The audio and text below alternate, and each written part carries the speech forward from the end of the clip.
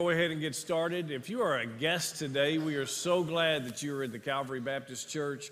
In front of you, there's a connection card. If you would just take that out and fill it out.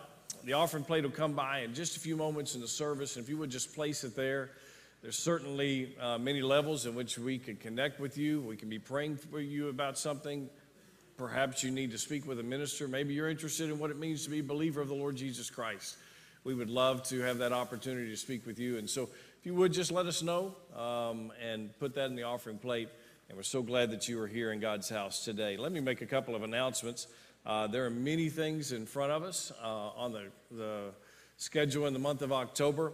Uh, we have our trunk or treat at the end of the month, and we need a lot of cars. If you could volunteer for that, uh, to bring your car, decorate it, and uh, pass out candy, please go by the Welcome Center and uh, be ready for that. Um, our family fellowship meal is this coming Wednesday, and uh, would encourage you to be here at 5.30 if you can't be right here at 5.30 uh, come in when you can and uh, there'll be a great time of, of food and fellowship for you. Um, our fall fellowship is two weeks from today and uh, we enjoy a, a great time on the grounds of a bonfire and hayride and kids games and kickball and all that stuff. And so please go by and sign up for a food item that you can uh, bring to that. We have some Calvary Care shirts if you'd like to order one. Discover Calvary for anyone who is a new member or um, interested in membership in the Calvary Baptist Church is going to start two weeks from today on the 21st, and we encourage you to be a part of that if uh, that fits you. Uh, also, our, uh, our senior adults uh, that are going on the mystery trip. Miss Brenda has said this if you think at all you might be interested on this or in this, um, right after service today, really important meeting. Uh, they'll be meeting uh, right through these doors uh, in the Women of Joy classroom.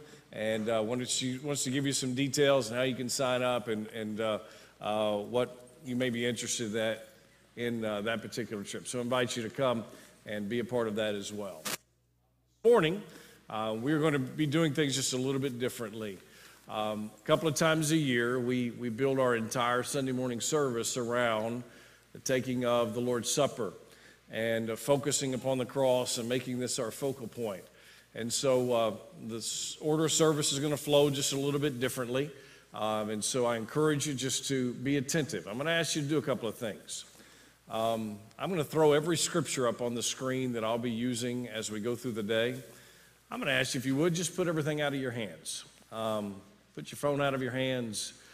If, if you just want to look at a paper Bible, that's fine as well. But anything that would be a distraction in worship today, I just encourage you just to uh, uh, put it aside. Um, I would encourage you also, um, let's limit movement um, as we go in and out today.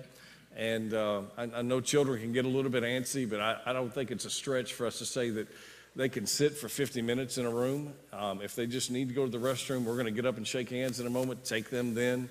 Um, we're going to dismiss our children to children's worship in just a moment. We invite them um, to go out then if uh, they just have to move, have to get a drink of water or something. But as much as we possibly can, so our reflection and our attention is on the cross of the Lord Jesus Christ today. Let's limit as much movement um, as we possibly can today. If you would just stand everywhere and join me in prayer and ask the Lord to just use this time as it is consecrated to Him to worship about what the cross is and what it means and the difference that it can make in our lives. Our Father, we come to you and we thank you for this time to reflect, this time to honor you, this time to lift you up. And Father, today as we the cross and we think about the difference that it has made and the difference that it will make in the lives of people throughout all of eternity. Father, we pray that you would allow us to put aside all the things that we um, have struggled with, have dealt with in the last week, the challenges of the next week. And Lord, completely and totally to focus upon you this morning and honor you and lift you up. And we ask these things in Jesus' name. Amen. Take just a moment, greet those around you today, shake their hands, give them a smile this morning.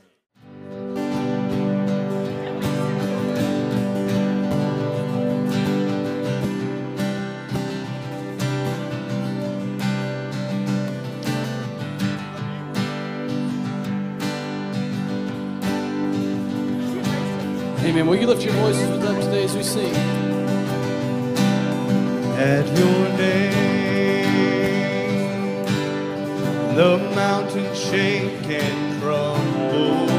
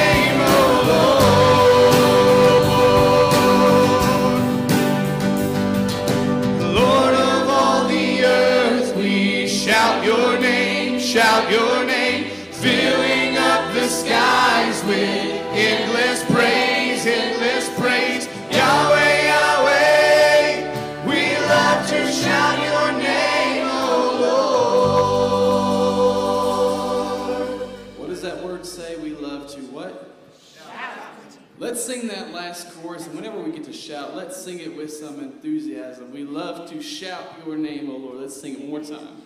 Lord of all the earth, we shout your name, shout your name, filling up the skies with.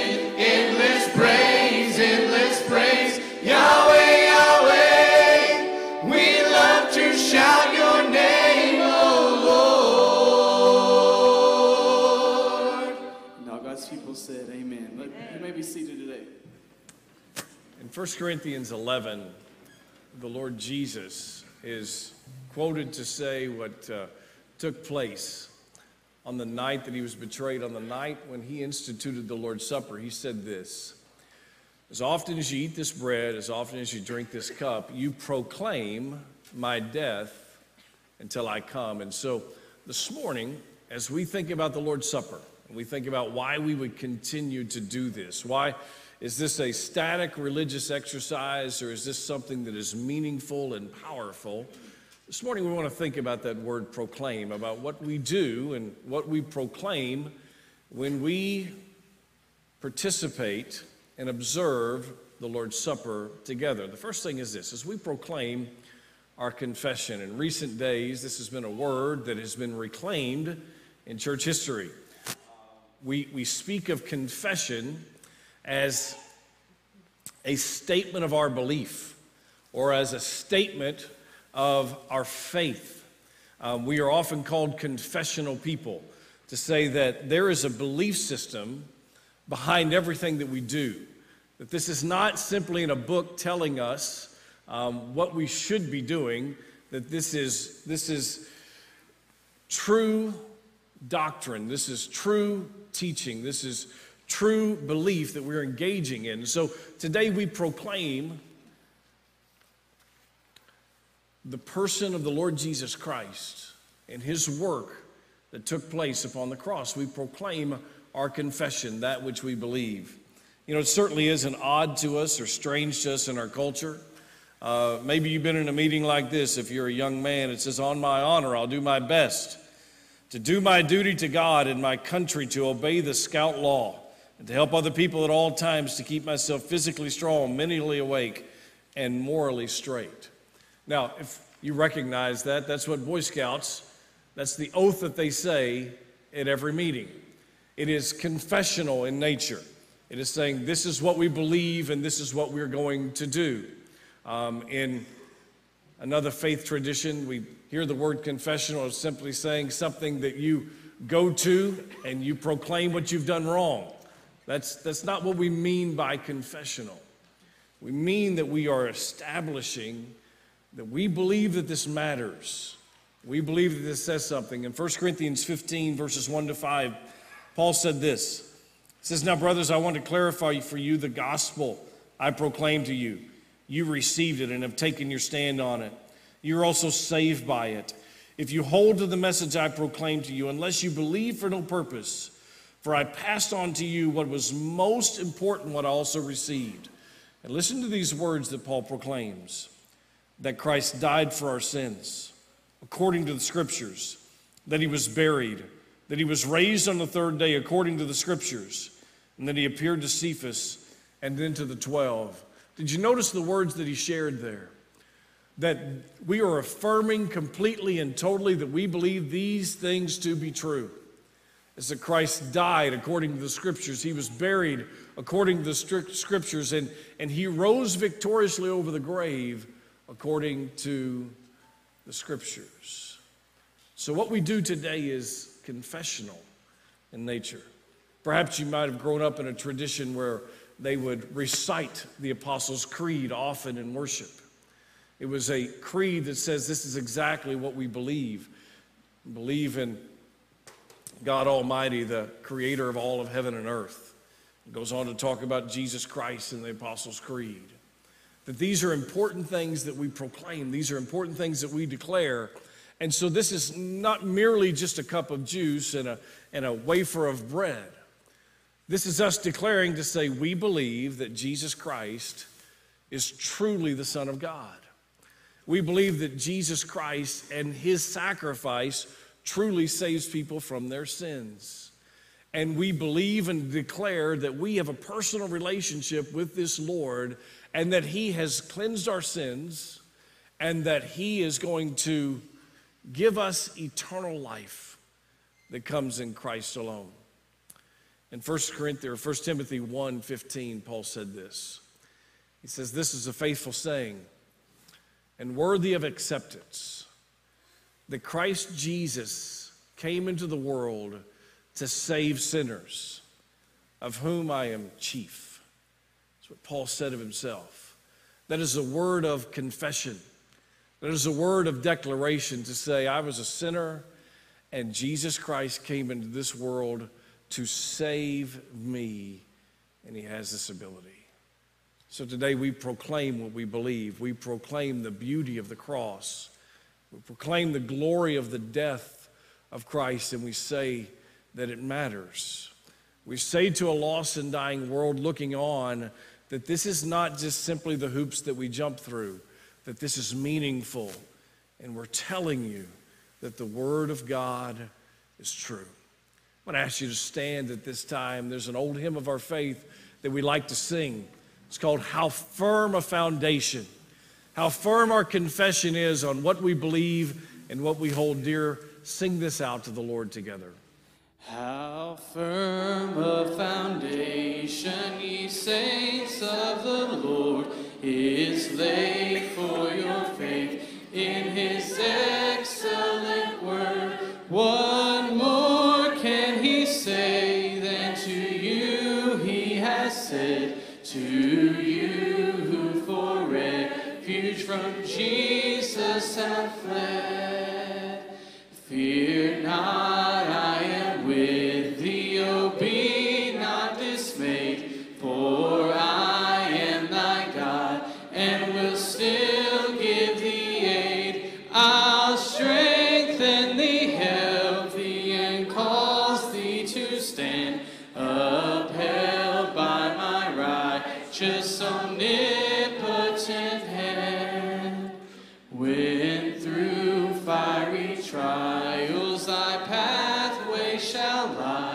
My grace all sufficient shall be my supply.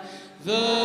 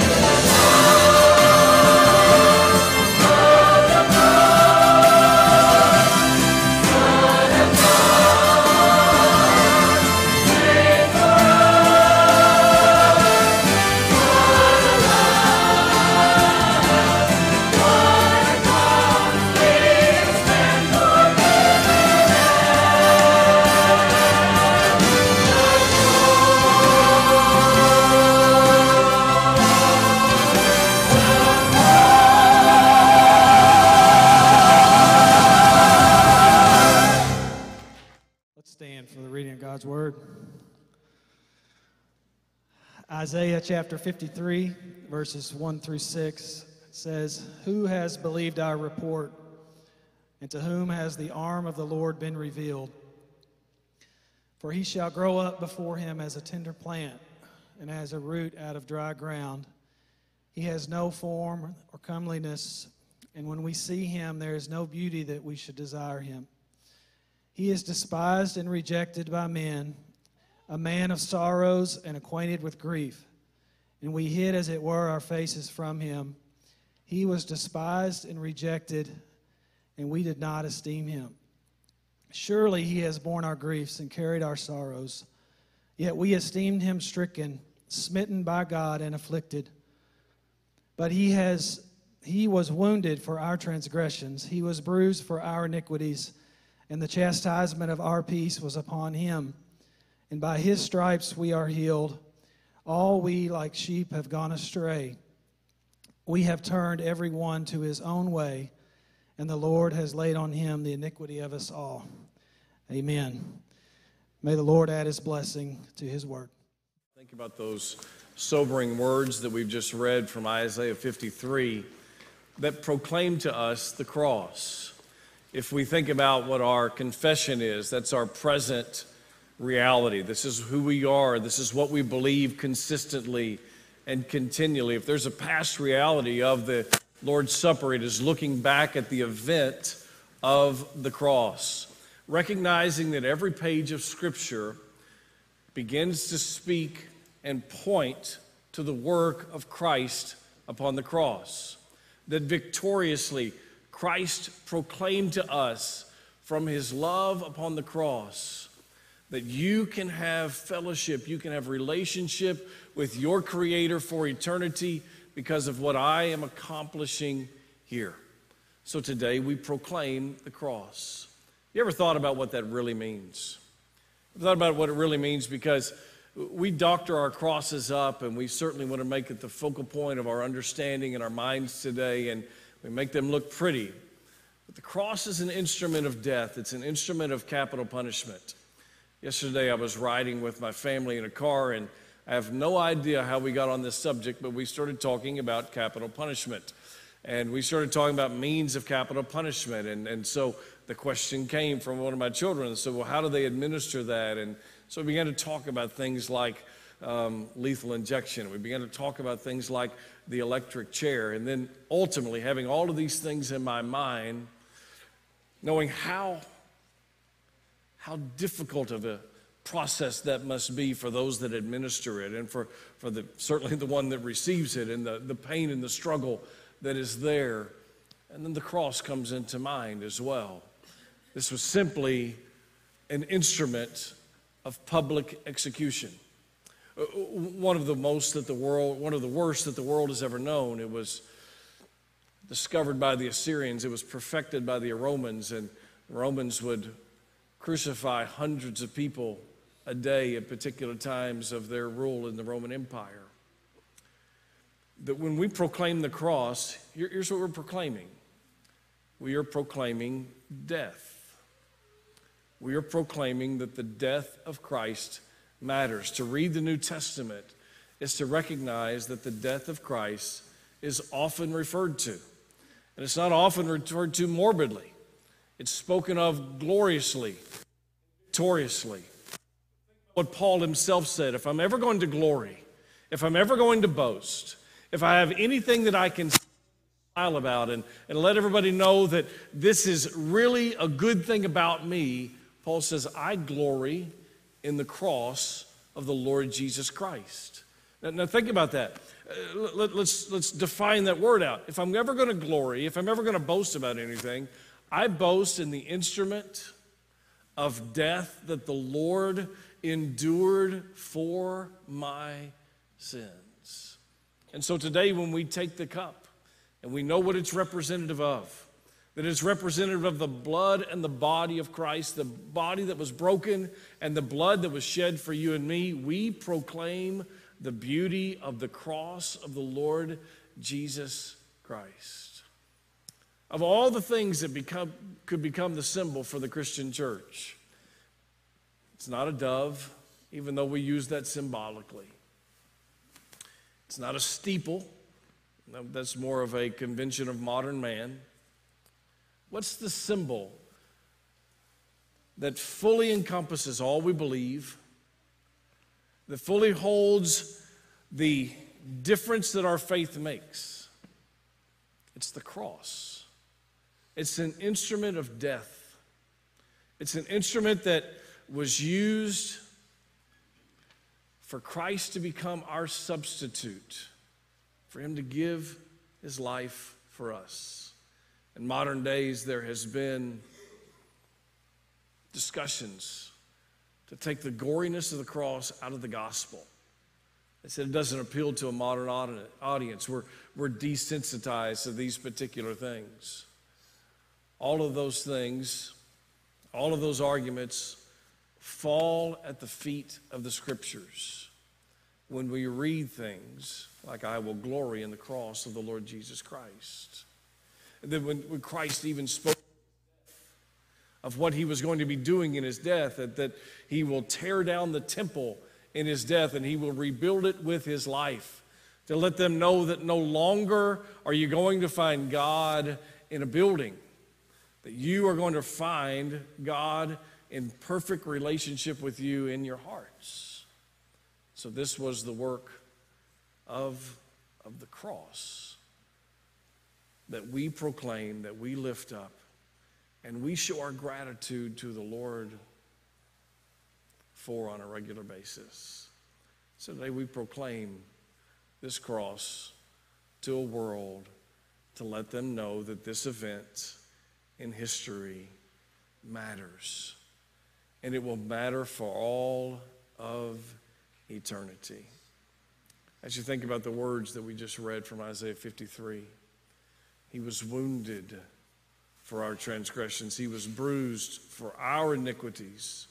The chastisement of our peace was upon him. And by his stripes we are healed. The one that engaged in the action was Christ. The one that received all of the benefit was us. So when we celebrate this instrument of death, we look at it as the, as the instrument that took our place, that took our debt, the substitute that stood in our place and made relationship with God possible for eternity. There's a lot of words we could say. Hopefully, this brings us to our faces in worship. It, it lets us recognize the significance that God places upon His creation, that He Himself would die for the sins of it. But certainly, the words thank you to the Lord are something that we would cry out from our heart continually and totally. We're going to sing a song right now called Jesus Thank You. And I want you to reflect upon the word of the cross, reflect upon how we are proclaiming it today, and the difference that it makes in your life continually. Let's all stand.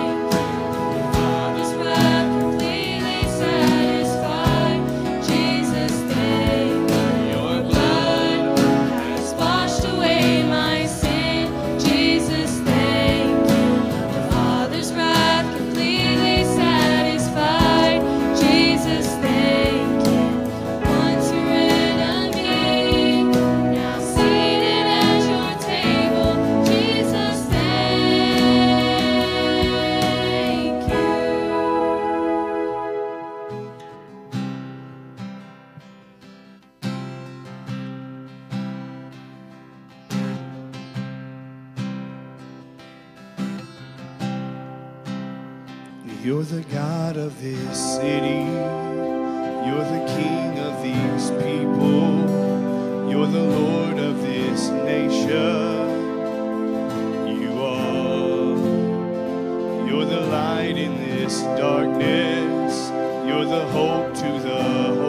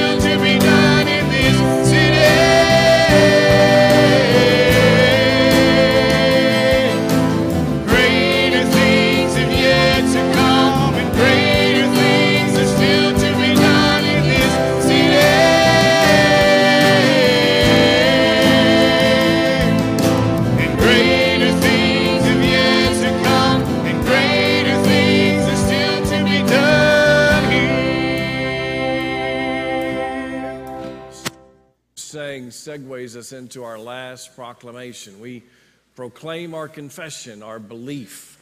We proclaim the cross and the instrument that Christ was our substitutionary atonement. He stood in our place. And now we proclaim our commission. Ultimately, these are the words of Christ, and ultimately, this is the, the cry of his heart as he says, You proclaim my death until I come. That the church, present and accounted for, speaks up and says, These things that we believe, this event that we remember, and what took place in time matters.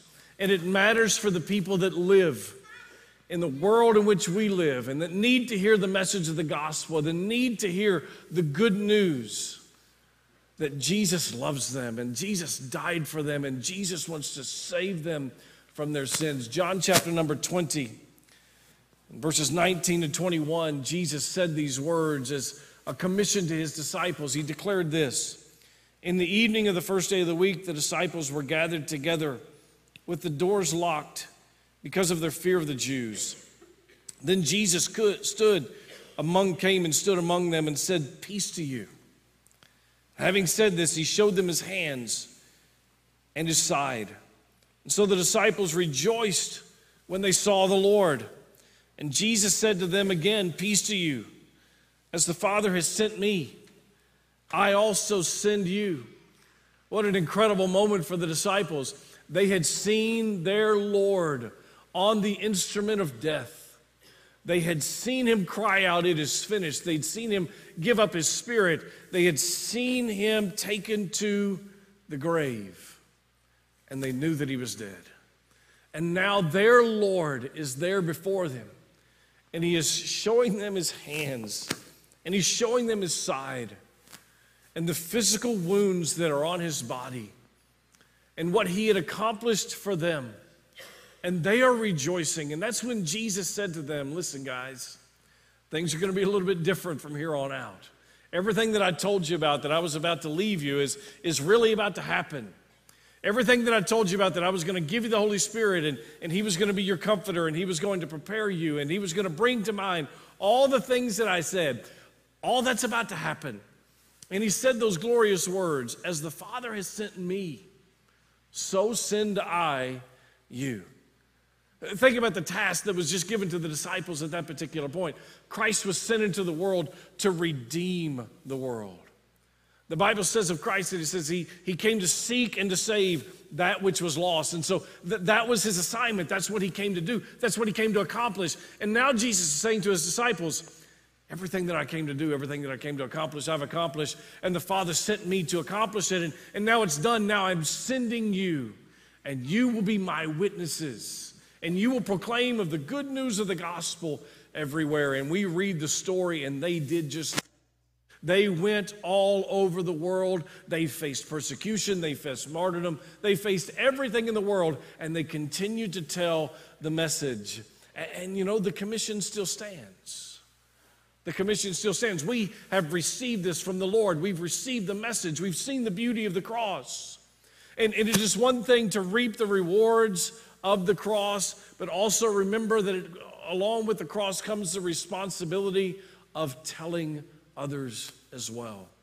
If this is the greatest thing that's ever happened, and if it's the greatest thing that's ever happened to us, doesn't it stand to reason that we're going to desire that for those that have yet to find it?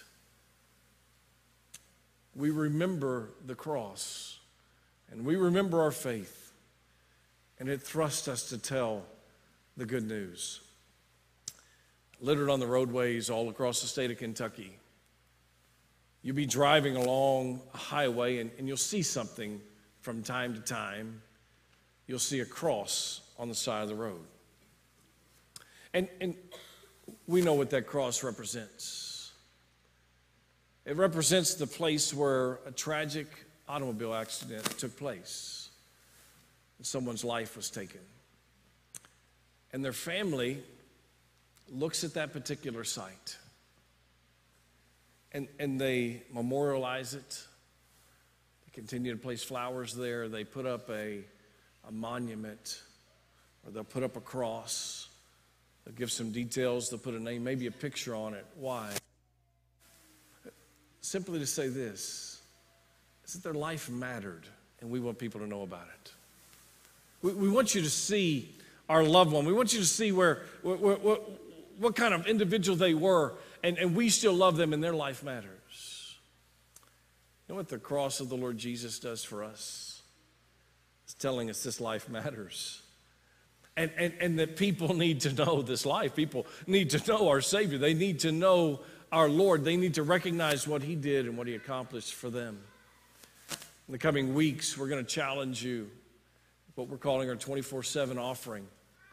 I want to challenge you to make plans now to be in church the first Sunday in November as, as we are going to launch this and talk about what we want to do in terms of the commission of the Lord Jesus Christ and, and, and how we fund that and how we realize it's much bigger than an offering. It's something we're giving ourselves to as well and some opportunities that we have throughout this some mission testimonies of individuals that have engaged in foreign missions and the difference that it makes. Why? Because they are living out the commission of the Lord Jesus Christ and how we can all participate in this.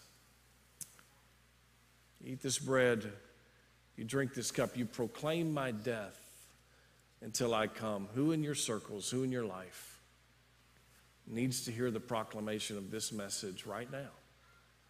Not the message I'm preaching, but the message that you can tell them from the Word of God about the one that gave their life on the cross for them and the difference that it will make for them for eternity.